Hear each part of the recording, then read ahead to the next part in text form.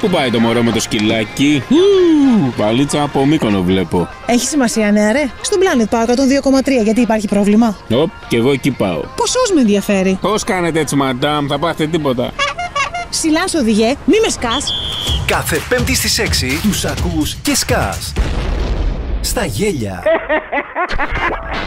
Μη με σκάς. Το δίωρο σοου με τη Μαρία Ανδρικοπούλου και τον Παναγιώτη Καπελέρη. Αποκλειστικά και μόνο στον Planet Λακωνίας 102,3. Έλεος. Κουσκούς, αφιερώσεις, πλάκες και οι μεγαλύτερες επιτυχίες. Μη με σκάς στον Planet. Κάθε Πέμπτη 6 με 8. Η εκπομπή έχει ημερομηνία λήξη.